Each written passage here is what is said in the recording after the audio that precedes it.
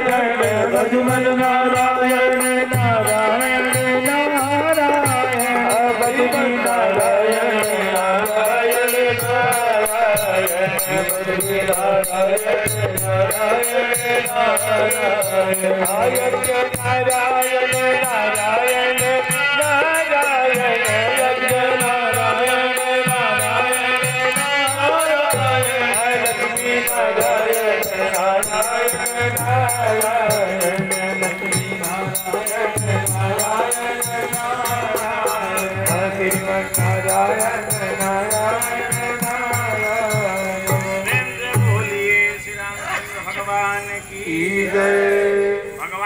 भक्त का सम्मान करने के लिए थोड़ी देर कथा रोक दी जाए तो उसमें पाप नहीं है।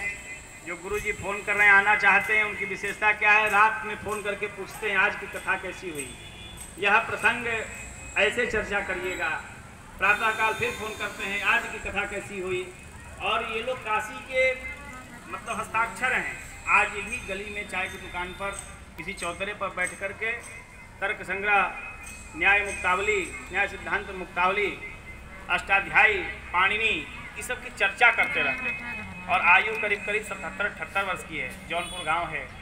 वहाँ छोड़ करके किसी सब चर्चा के लिए काशी वो आकर रहते हैं, अकेले रहते हैं, कोई नहीं रहता। है काशी की यही महिमा है, उनका फ़ोन आ रहा था, इसलिए हमने कहा कि जो है उनको ले आया जाए। सौंपे भूप